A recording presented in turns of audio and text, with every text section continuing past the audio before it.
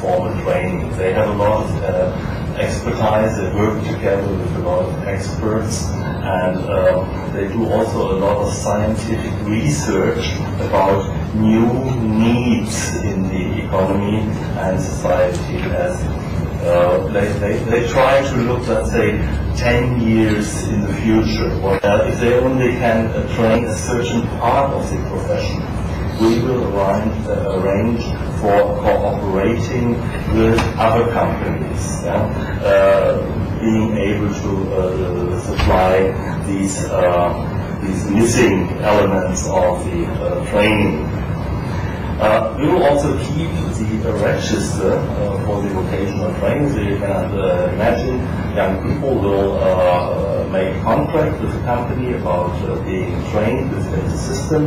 This contract is registered with the chamber. We check whether this company is able to do what they want, and then we will follow. Uh, whether they train the right things. We, we, we are the institution taking the uh, intermediate and the final exam for this job.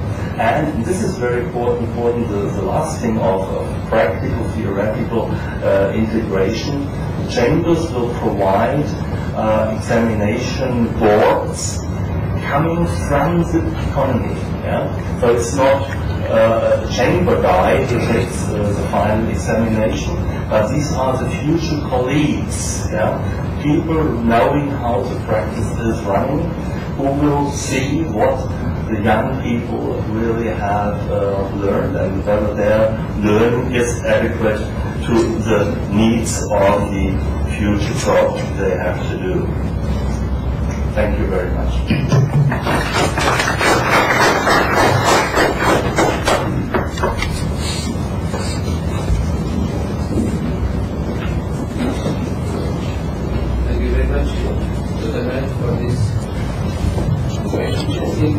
rather comprehensive presentation. And uh, for our further discussions of combining practical uh, skills with theoretical knowledge. Uh, according to my uh, humble knowledge about the vocational training in the Arab countries, I think we are still uh, lacking a little bit in this field of um, providing uh, sufficient technical skills, at the same time theoretical knowledge which is needed in the labor market. And the other thing is very important the issue of role of the business community. Not only the role but also the contribution, the financial contribution of the business com community in the field of vocation. Somehow the remaining thinking of the past regime where the government was controlling everything.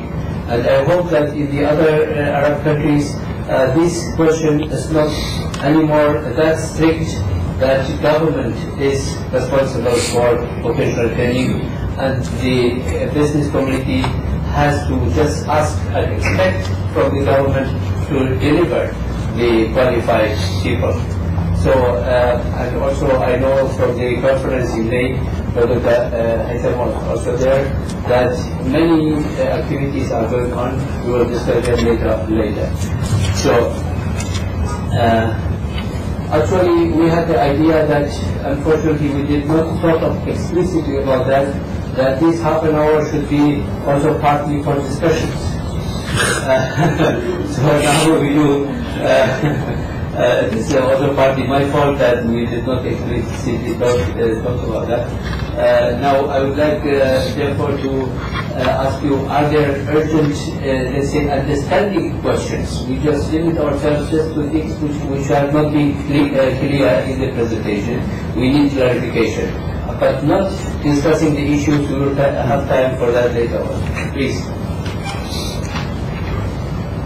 And you, you present yourself very briefly. I'm, I'm my name is I'm from the Chamber of Industry Jordan. Well, uh, I'm uh, one of those who are admired of the uh, uh, German uh, system, the dual system, which is combining the industry and the theory at the same time.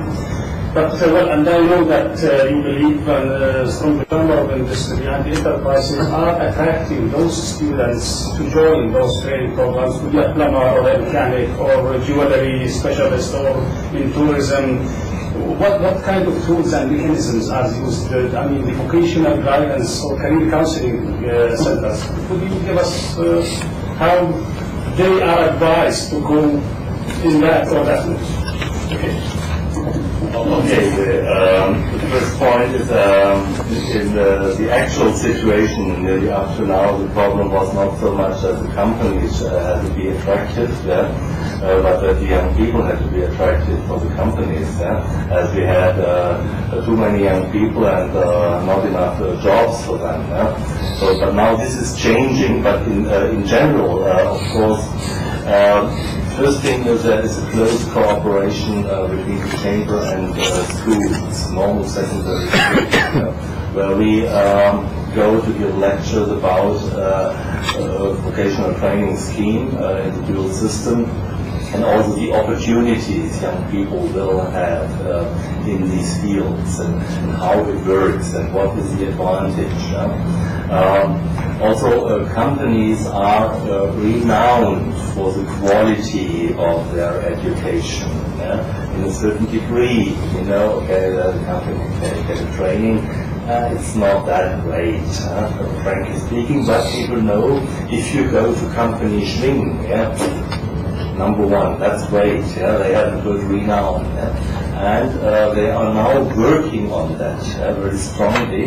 As they can uh, see, within five years there will be a shortage of uh, of young. In itself is attractive for young people. Yeah? Not to go too much into detail, but my daughter is studying law, yeah? and she will reach her 30th uh, birthday before she is really ready to do uh, a qualified job. And in the very beginning, she will not earn that much money.